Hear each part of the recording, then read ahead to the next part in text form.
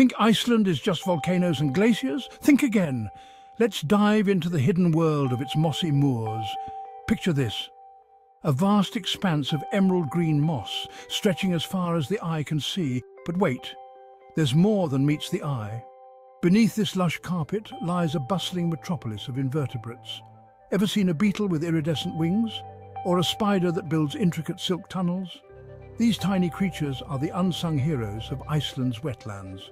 From snails with delicate spiral shells to slugs that glide like tiny, slimy ninjas, each invertebrate plays a crucial role in this ecosystem. And let's not forget the microscopic mites and springtails working tirelessly to recycle nutrients. So next time you're exploring Iceland's wild landscapes, take a moment to look down. You might just uncover a hidden world teeming with life. It's a reminder that even the smallest creatures can hold the greatest wonders. Thanks for watching. Don't forget to like and subscribe for more fascinating nature stories.